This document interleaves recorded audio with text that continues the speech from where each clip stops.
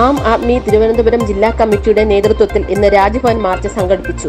മോദി അദാനി ചങ്ങാത്ത മുതലാളിത്തത്തിനെതിരെ രാജ്യവ്യാപകമായി ആം ആദ്മി പാർട്ടി നടത്തുന്ന പ്രതിഷേധങ്ങളുടെ ഭാഗമായാണ് ഇന്ന് കവടിയാറിൽ രാജ്ഭവനിലേക്ക് മാർച്ച് സംഘടിപ്പിച്ചത്. അഡ്വക്കേറ്റ് വിനോദ് മാത്യു വിൽസൺ ഇന്ന് സംഘടിപ്പിച്ച രാജ്ഭവൻ മാർച്ച് ഉദ്ഘാടനം ചെയ്ത് സംസാരിച്ചു. ആം ആദ്മി പാർട്ടി തിരുവനന്തപുരം ജില്ലാ കമ്മിറ്റി അംഗങ്ങൾ പ്രതിഷേധ മാർച്ചിൽ പങ്കെടുത്തു.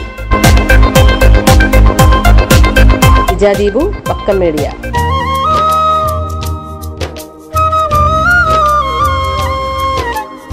നിങ്ങൾ അറിയുന്ന വാർത്തകൾ ഞങ്ങളുടെ വാട്സപ്പ് നമ്പറിലൂടെ അറിയിക്കൂ. ഞങ്ങളത് കൂടുതൽ പേരിലെത്തിക്കാം.